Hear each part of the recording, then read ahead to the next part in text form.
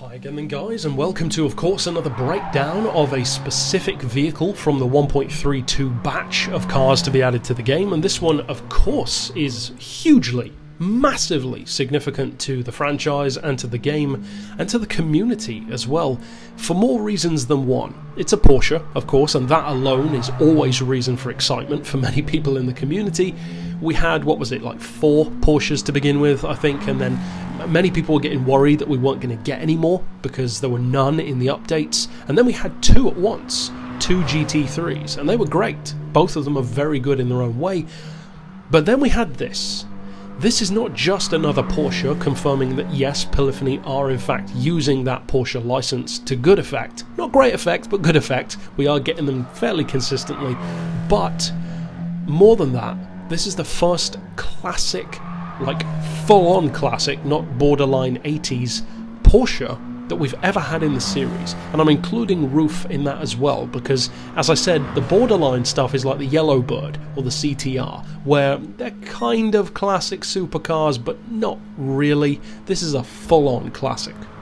Now, there are certain things about this car which are very appealing. The look, for instance, it's a cute, smooth, clean looking classic car. On the other hand, it's supremely expensive. it's 1.2 million credits, which seems ridiculous for something that's barely N100. So, what's the deal? Well, to sum up the Porsche 356 in this form in particular, which is incidentally a higher performance version, I would say you are paying 1.2 million for the car, not for what the car can do. So, in other terms, if something like the Ford Model T were to come back, and it costs 20 million credits. You, in your right mind, would never think that you were paying 20 million because it's the best thing out there. Of course not. You're paying 20 million because of the car, because of its historical significance and how collectible it is. Likewise with this Porsche. Don't go into it expecting the best N100 car, because it categorically isn't. It is quick, and it is very fun, and it feels fast, but when I took it around the Nordschleife, it was a good 15, 20 or so seconds slower than my classic Mini, also in N100. So it's not even close to being the fastest. Because even that Mini can be pretty handily beaten by what is probably the most OP car in N100, the Honda S660. As far as classics go, though, the Mini is a very, very good one and a hard one to beat. This, on the other hand, if you're talking just value for money, of course cannot match up to that Mini. It will be beaten by it under most circumstances, apart from maybe top speed. Apart from that, though, is it still worth buying? Well, that will depend very, very much on the individual player. If you're the kind of person who loves Porsche, or who loves classics, or who loves collecting really historical or expensive cars, like the High Rollers Club, in effect, then you'll love it. It's got plenty to love. It looks the part, it sounds pretty cool, the handling is interesting. It's not the best handling thing around, but it's not the worst either.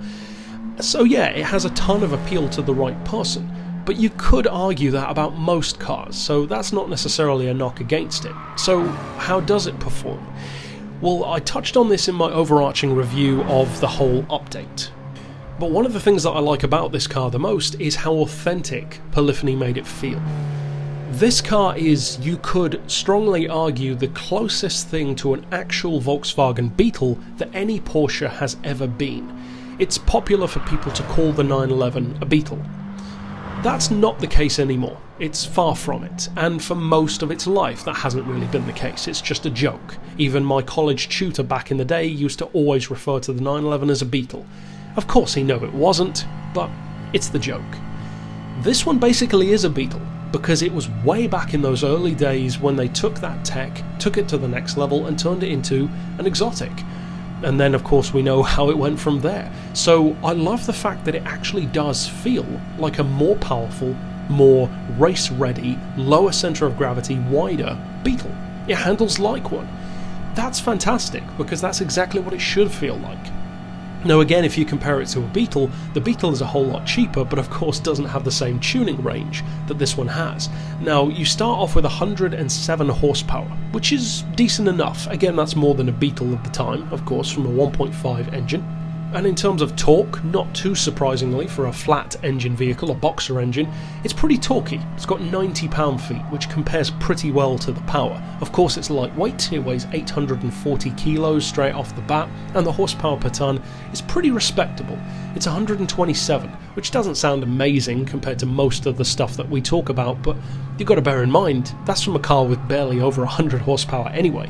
So the only thing that's possibly disappointing to some people is the price.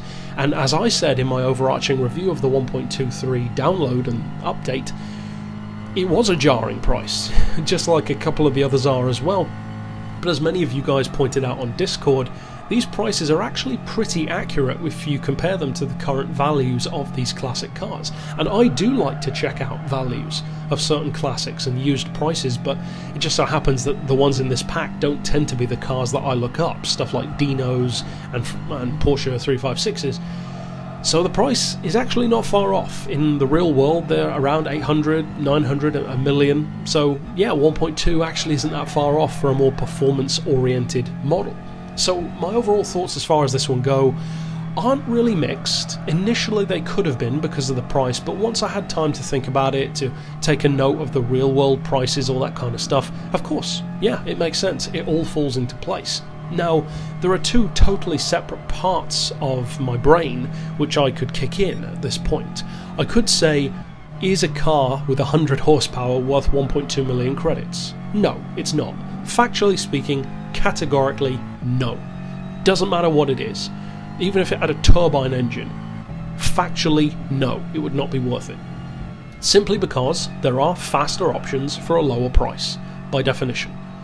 However, if you're talking 1.2 million for one of the original Porsches, one of the most significant Porsches, one of the most collectible classic performance cars of all time, well, of course it's worth 1.2. From that point of view, it's a wonder it doesn't cost more. But I think if it did cost more, like 5 million or something, people would probably be disgusted by that price, because 1.2 million is hefty enough, especially when you first see it and aren't expecting it. I thought it might be four or 500,000 way off. so overall, those are my thoughts on the 356. I am going to break down a tune for it, probably in N100 for those who want to use it. And as I said, it does have potential. It's just not going to beat everything, especially not the modern stuff like K cars. But overall, that's it for my thoughts. Great little classic addition to Porsche, very significant one, and I'm looking forward to seeing what Porsches we get in the future because it's been fairly eclectic so far. But that's it for this pick. Of course, I will see you next time, and for now, as always, thanks for watching.